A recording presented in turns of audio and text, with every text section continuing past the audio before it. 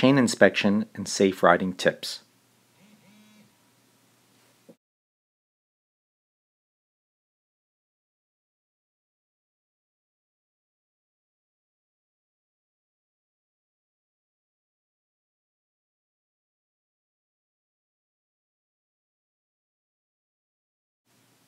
After riding the motorized bike for the first time, inspect the bicycle chain to see if it has loosened. If it has, loosen the axle nuts, coaster brake screw, and chain tensioner pulley. Pull back the wheel to tighten the chain and then resecure it. Along with the bicycle chain, inspect the motor chain to see if it has loosened.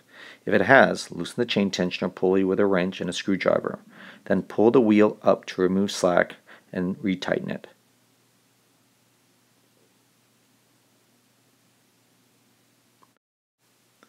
Safe operating tips. When operating a motorized bicycle, always use front and rear lights when riding at night. Wear a properly mounted and fastened bicycle or motorcycle helmet. Wear bright and conspicuously colored clothing. Wear gloves, pants, and closed-toed shoes. Travel at the lowest speed possible to avoid serious accidents, injuries, and death. Obey all state and city traffic laws, ordinances, and speed limits on the road. Practice riding the motorized bicycle in an open area free from traffic to become familiar with motorized riding. Plan out and use a safe route to ride when traffic is at a minimum.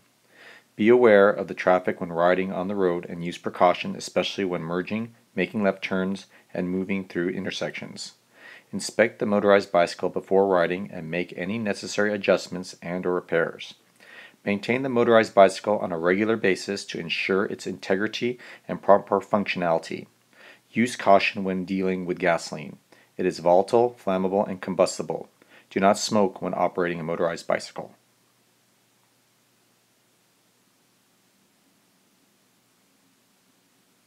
Have fun and ride safe.